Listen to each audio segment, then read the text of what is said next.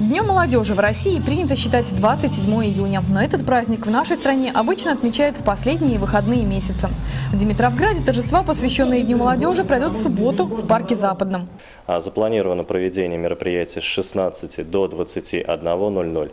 Начинаем мы мероприятие, впервые попробуем в этом году, это шествие выпускников СУЗов и ВУЗов. Начинается оно в 16.00 проспект Димитрова, это первый корпус МИФИ Димитрова 4. И идем мы, значит, до сцены, до парка Западного. Для детей в парке Западном будут работать надувные батуты. Здесь же представят и Бигфут – модернизированный пикап на огромных колесах. Вечерняя программа начнется в 17 часов с вручения благодарственных писем главы города. Состоится концертная программа и дискотека с батлом диджеев из Димитровграда.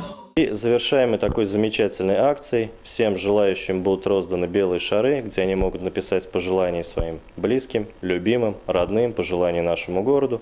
И мы произведем массовый запуск этих шаров ровно в 21.00. Юлия Лаптева, Константин Белов. Наше время.